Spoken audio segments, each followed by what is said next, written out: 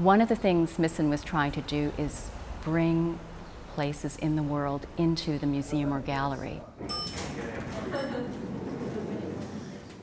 He was always conscious of the center, which was in New York, and what he would call the periphery of the cultural world, which was in New Jersey. And he was always conscious of bringing something from out there, from point B to point A.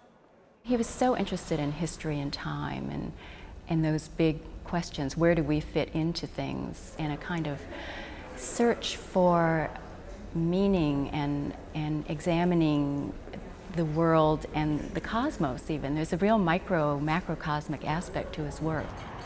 We talked to different yards, and some people saw this as just an enormous headache. You know, you're going to get in the way of our normal business.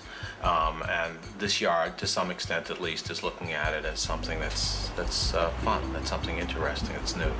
It's certainly a very challenging thing to take an artist's idea who's no longer alive and to think about um, what that drawing means in real terms. All of us really followed um, Nancy Holt's um, understanding because she worked with Smithson on many of his works um, and was also there during discussions, early discussions about the floating island.